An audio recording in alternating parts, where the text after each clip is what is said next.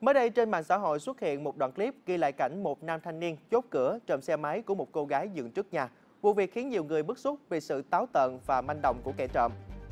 Sự việc xảy ra tại một văn phòng nhà đất trên đường Đoàn Nguyễn Tuấn, huyện Bình Chánh, thành phố Hồ Chí Minh. Theo hình ảnh từ camera, chiếc xe máy dựng trên vỉa hè trước căn nhà đóng cửa và không có người trông coi.